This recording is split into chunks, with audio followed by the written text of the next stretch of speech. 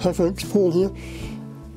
I finally worked out how I'm going to join these pouch cells that I pulled out of a couple of e-bike batteries last year sometime and have struggled for ages working out how I'm going to parallel connect um, 10 or 12 of these together um, in order to make a decent sized chunk that I can then string in series to make a 24 volt pack.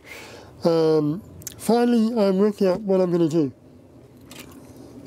I'm going to make a bunch of these things here, 3D printed, using um, the usual twisted copper wire.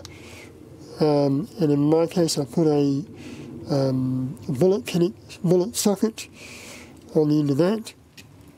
If I get 10 cells together and put that in there and then put Tesla fuses from each of the tabs to the bus bars and then use these to connect each block together in a string to make the 24.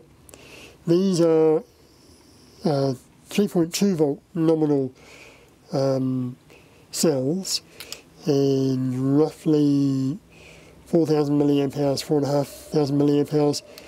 Um, so when you multiply that by 10, you get quite a nice amount of power in a single brick. String those together and it should work quite nicely. I've ordered some large heat shrink that will heat shrink that together.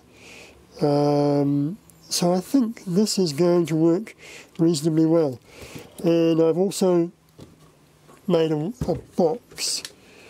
Um, if I can zoom out. Um, I've made myself a nice long box so that I can um, slot each of these packs in and it'll be nice and self-contained. Um, I'm not 100% sure what the what the hell I'm doing here.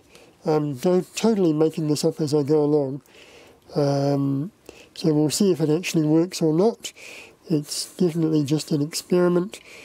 Um, if I string uh, eight of these together, 3.2 volts, then I end up at around the same voltage as my P7 lithium ion pack.